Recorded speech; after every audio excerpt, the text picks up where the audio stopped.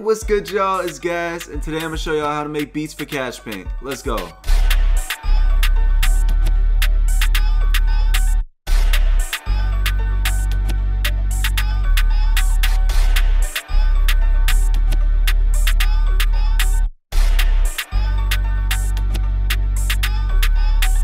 We're starting at 105 BPM. I feel like it's like sort of that 90 to like 105 BPM range works best for these types of beats. And these Kashpaint Xavier So bass beats are pretty unusual. Like they're not, it's not something you commonly hear. So just to give it a little breakdown, like between the melody and the drum distinction, I'd say the drums have a whole lot of like Jersey influence. It's like some shit that makes you want to get up, start moving, hit the jerk and some shit.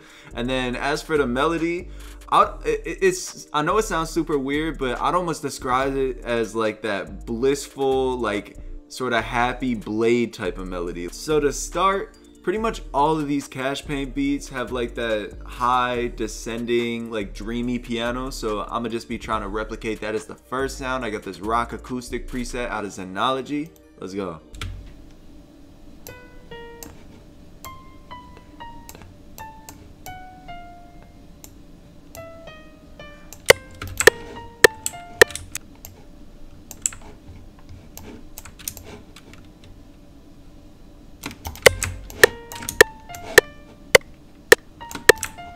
So I feel like I got this little piano pattern right. I'm gonna play it out.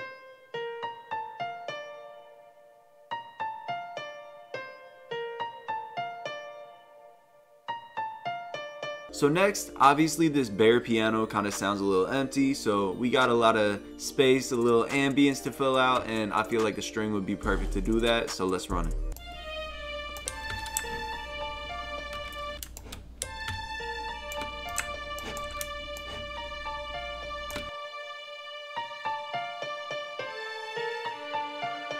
So we got this super simple string pattern, just the same thing repeating every two bars and it's just the same thing down an octave right here and I lowered the velocities a little and it's gonna sound like this. So next, I thought this shit needed like a real thick subby bass, so I just grabbed this big butt bass preset out of Triton, and now I'm gonna try and lay something out.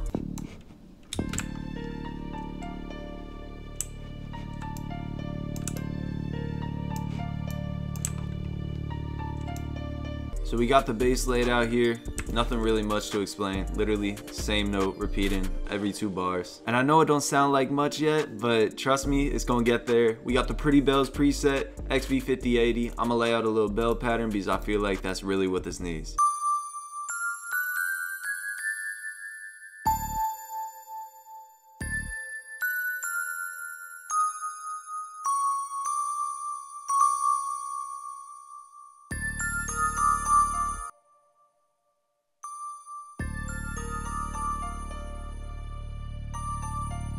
And to really round out the melody, I just wanted to grab a pad, so I got this vintage tube preset, finna lay out a little chord progression.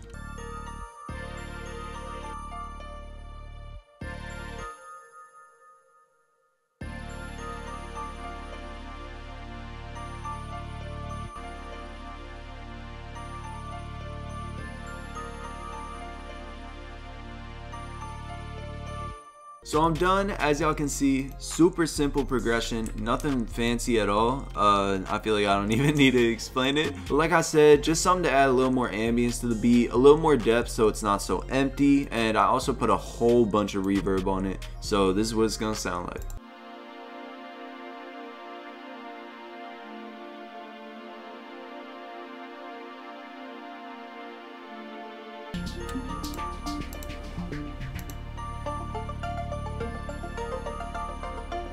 So I just put up Albino, Albano, whatever the fuck.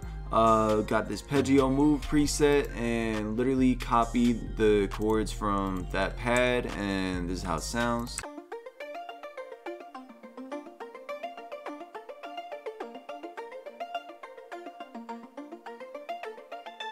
I feel like even six sounds is kind of crazy for a Kashpaint melody, a little bit OD, but I'm gonna select everything here by just clicking and dragging down and then going here, transpose selected, gonna bring this up two semitones and this is the final melody.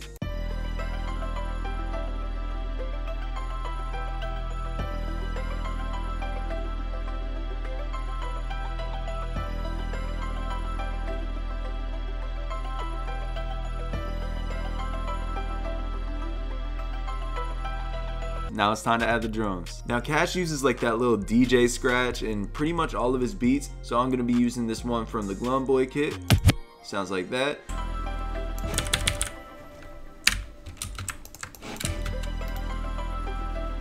And I got another commonly used Kashpaint sound, this little chant. Gonna be throwing that in.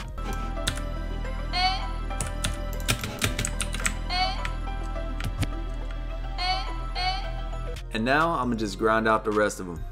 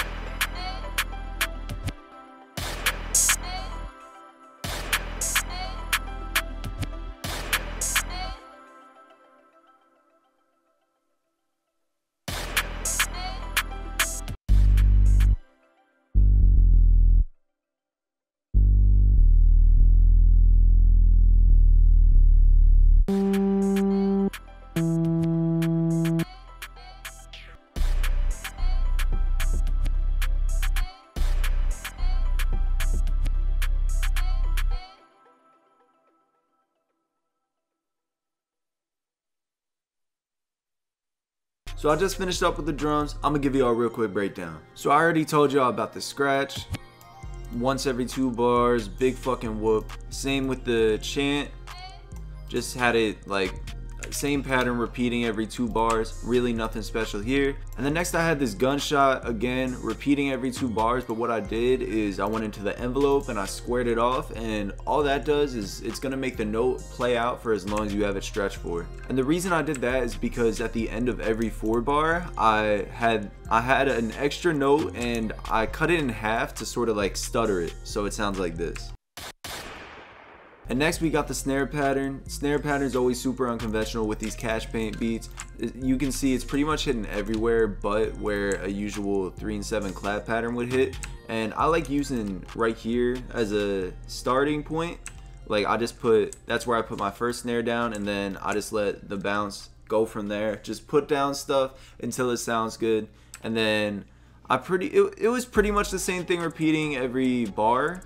But I just add like one or two extra accent notes, maybe something at the end. Really nothing special. Then I had this open hat hitting at the same exact spot every half bar. You can see super repetitive. And then I had this portal open hat, sort of weird sounding at the end of every every two bar. And then I did the same thing I did with the gunshots where I had it be a little stutter. I squared off the envelope at the end of every four bar, yada yada yada. And then instead of an 808, I used the sub super deep sub, shit growling, and I pretty much just like did a 808 pattern like as you can see.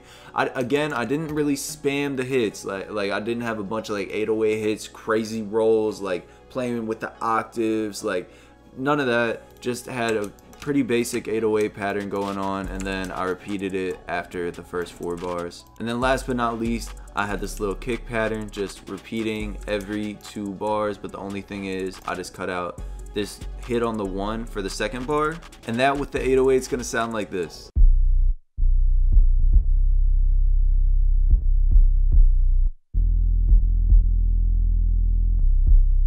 And I forgot to mention, but I upped the BPM to 110. And this is what everything's gonna sound like together.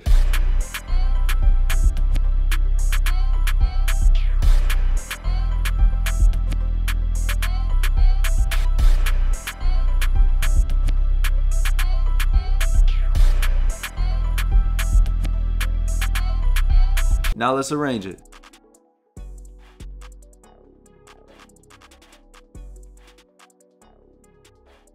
So I just finished out the arrangement. I'm gonna break it down for y'all. So I got a few focal points I wanna point out before I start explaining like the whole breakdown and everything. But first of all, I had a lot of stuff alternating. For example, this uh, sub and the bass, the Triton bass and then I had the sub and the kick alternating, and th they did play together like like sometimes, but most of the time they were alternating. Then I also tried to have this portal open hat sort of alternating with the gunshots. Like as you can see, I took them out basically for the whole section here and had the portal open hat here.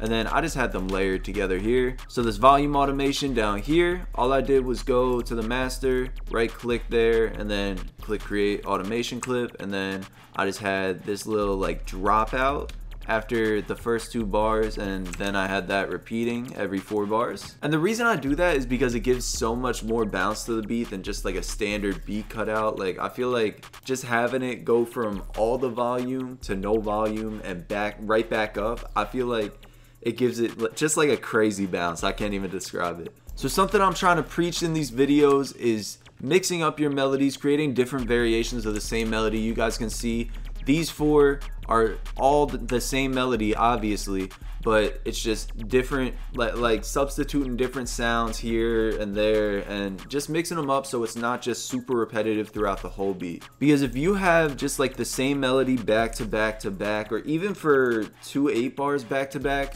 I feel like it's super unenjoyable to listen to. It just gets super repetitive really quickly and just like mixing up the melody arrangement like this it just it, it, it, makes the beat so much more enjoyable to listen to. There's so much more diversity in the beat and there's like different parts to look forward to. And if you're sending these beats to an artist it gives them so many different like flows and ideas to work with. For the most part i just did these four bars of arrangement that i just explained copied it over and then that's the entire arrangement. And if we really want to get funky with it i got the mp3 right here.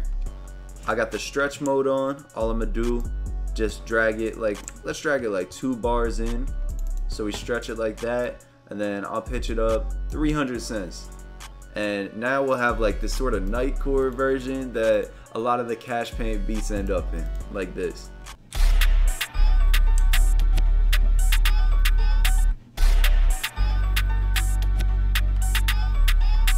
And that's gonna be the beat, y'all. Thank y'all so much for watching. If you enjoyed or learned some, make sure you hit that like button. And if you haven't already, make sure you subscribe. Trying to get this channel to 2K real soon. And also, make sure y'all leave a comment. Let me know if this is gas, if this is ass. And also, let me know what y'all want to see next. I'm down for really any type of tutorial. But y'all know the deal. Follow me, Instagram, Twitch, all that. Links will be in the description. But I love y'all. I appreciate y'all so much. As always, this has been Gas, and I'm out. Peace.